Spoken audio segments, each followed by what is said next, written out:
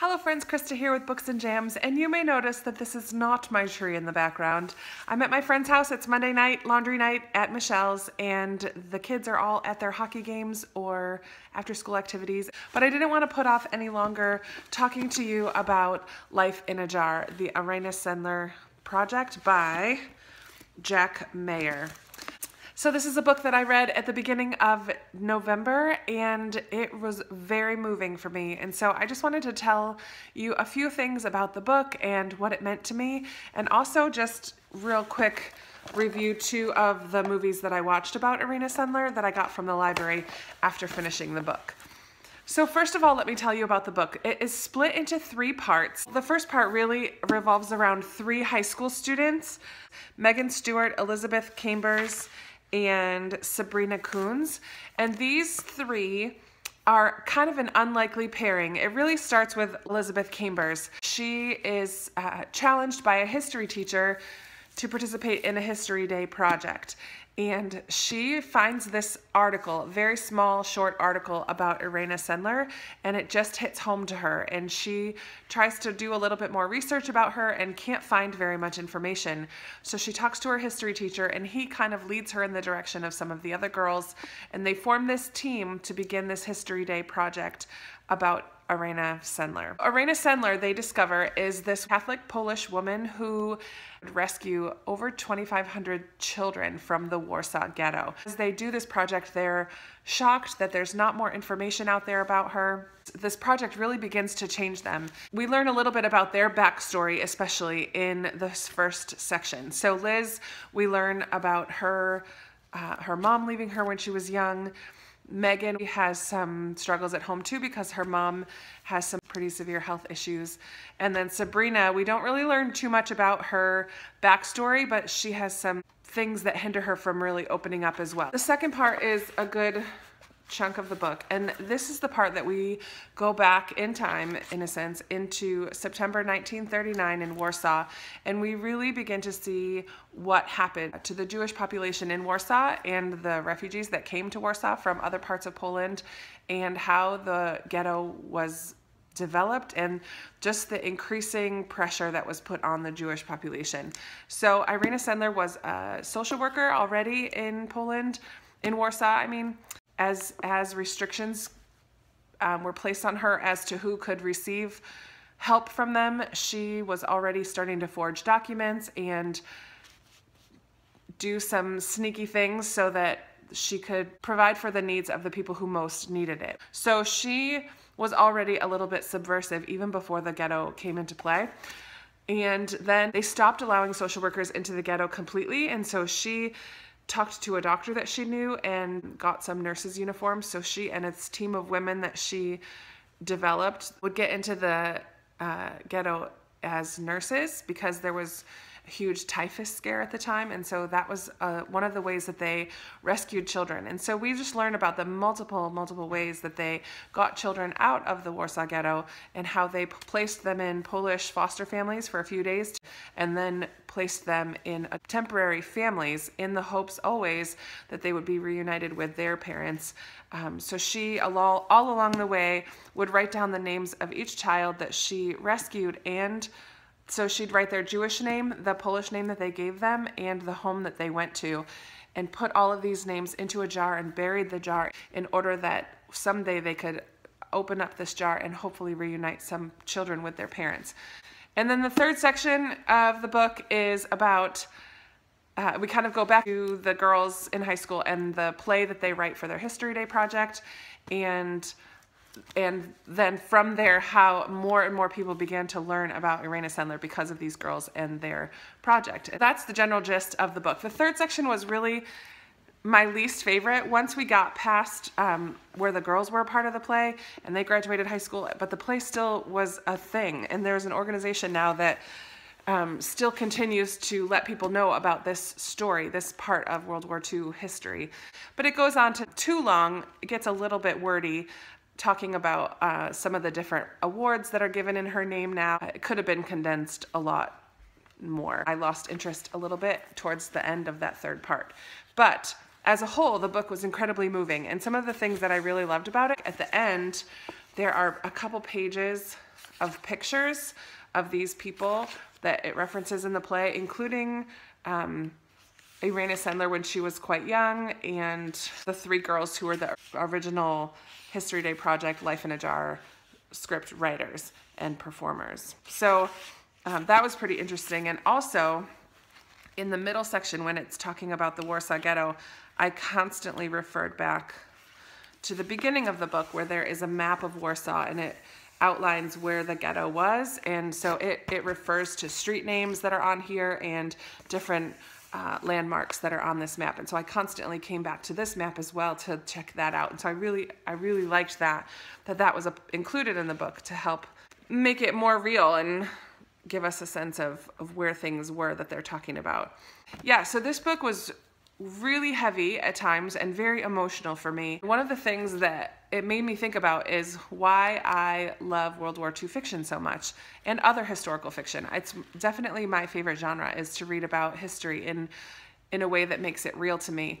And well, although this is nonfiction, it made this story real to me. And one of the things that Eva, Irena's friend, says to her, Eva was a Jewish woman in the ghetto and was one of Irena's closest friends, and she constantly went to visit her until Eva was included in those that were taken onto the trains to go to the death camp Treblinka. So Eva challenges, or not challenges, but really calls out Irina to, to continue to bear witness and just to be a witness of all of the events that are going on and to be able to tell others about the things that are happening. And I feel like as a reader of historical fiction and a lover of history, that we in a way are doing that. We're bearing witness to these events so that hopefully things like this don't happen again because uh, it's horrible and heart-wrenching and I don't get an I mean there's a level of enjoyment I guess but it's it's more moving than enjoyment it's emotional for me to to learn about and to study why does how did humanity treat other humans in these ways? And sadly it still happens today in many ways. And so what can i do to be a part of of standing up for what's right like irena did and standing up for those who are marginalized or minimized or put into boxes or ghettos in a sense? And what can i do about it? Um, I don't always know the answer to that, but I like that books like this make me think about it and make me aware of what's going on and what went on in history so that I can think about it and and really honor those who did stand up for what's right. So I feel like by reading this in a way we're honoring Irena and those the team of women and men who stood up for what was right and we need more people like that in this world. And there are people like that in this world. We just don't always get to hear about them, as we didn't get to hear about Irena for 60 years, until 60 years after the war. So that was incredibly moving. One of the things that I love is when asked why she did the things that she did, why did she stand up and put her own life in danger in many ways, quotes from her father who told her that when you see someone else drowning, you jump in to save them, whether or not you can swim. We don't watch other people drown. And I'm not quoting him exactly because I can't remember the exact quote, but it's basically along those lines that when you see other people drowning, no matter what. You don't just watch, you do your part to, to, to save them. And so Irena doesn't feel like a hero. She didn't feel within herself that she was a hero. She just felt like she was doing whatever it took to rescue people from drowning. I would say one of the saddest scenes in the book, there was an orphanage that was inside of the ghetto and um, Irena was very good friends with the, the man who ran the orphanage and the day um, it, the Germans had already begun rounding up different neighborhoods and bringing them to the train station where they would load them into the cattle cars and take them to death camps. And the day that the orphanage um, neighborhood was going, the book described other neighborhoods being taken and the Jewish police and the Gestapo um, kind of beating people and whipping them along the way and making them hurry. These people who are already starving and have our skin and bones and already have had their dignity stripped from them continually being beaten on the way to the train station. And yet on the day that it was the orphanage, um, it was the day after or shortly after Eva told her to bear witness.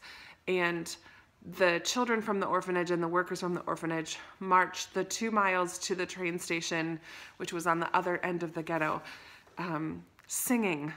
They marched to the train station singing. And instead of beating them and whipping them and humiliating them, uh, the soldiers just marched alongside of them and people came out from their homes and and Irena walked behind them with others and just followed them and and bore witness to this atrocity that was happening. And that was the part that I finally had to put the book down and just cry because it, it broke me. Just imagining the scene and imagining what she was thinking about how she's here she is trying to rescue children from the ghetto and here are hundreds more that that she's unable to save and how that must have just broken her heart and it broke my heart reading it um, it was pr pretty emotional reading that day um, but this, yeah, this woman just really was an inspiration to me and made me realize again why I love historical fiction. I would highly recommend reading this book with the understanding that the ending gets a little bit wordy and drags on a little bit. It's not the most fabulous writing, but the story itself and the the history of this woman and the organization and others who did their part to help the Jewish population in, in Warsaw during this time is really meaningful, and I would suggest that you read this book. As soon as I finished reading that book, I learned that there was a movie that was made called The Courageous Heart of Irena Sendler, and while I was looking for this online to borrow it from the library, I also found another documentary about Irena Sendler in the name of their mothers. So this, um, this is a, made by Hallmark. And it was good, but after having read the nonfiction book, there was definitely things you could tell they were smushing stories together and changing the narrative just a little bit. And so having been so moved by Life in a Jar, this one kind of made me mad. That's not how it happened. So while it was good as a movie, it, it wasn't the greatest, actually. It wasn't the greatest movie, but I liked the visual of imagining I didn't like it because it's horrible, but it really did help with the visual of seeing the starvation and the children in the ghetto and the pain and her and her work and the sewers that they rescued children from and some of the things you read about in the book. It's it is always good to kind of get a visual of that from the movie, but we know us book lovers that the book is always better than the movie. So this movie was not my favorite. I did I did appreciate this one a little bit more, produced by PBS, and it was much more accurate than the Hallmark movie, obviously.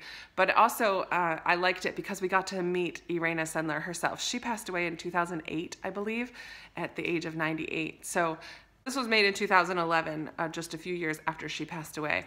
So in the movie, uh, we did get to meet Irena Sendler and hear her uh, speaking in Polish, obviously translated about some of her memories and why she did what she did. And she said again that quote from her father about rescuing those who are drowning, um, whether or not you can swim. And just hearing from her own mouth some of the things and just her humility and kindness that just emanated from her. She was a lovely woman and really just constantly spoke about all the other people that were involved as well.